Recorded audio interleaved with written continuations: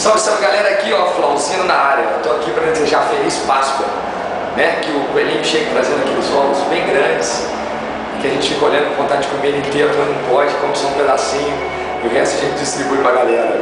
Né? Felicidades a todos aí, estamos retomando os trabalhos. Estou falando com vocês aqui diretamente de Garanhuns, né? Temos aqui representantes de Porto Alegre e Garanhuns. É, é, a galera viajou assim, nem sei quantas horas para chegar aqui, para poder fazer esse vídeo para vocês. Então é isso aí, que a Páscoa traga aí um sentimento bom e positivo para todo mundo, que a gente possa, e dessa vez eu vou poder estar com a minha família, porque depois da que a Páscoa passar, o bicho vai pegar, e aí é só estrada, estrada, estrada. Então fiquem em paz. Né?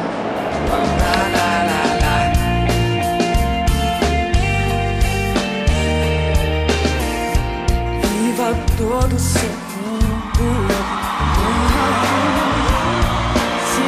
toda liberdade.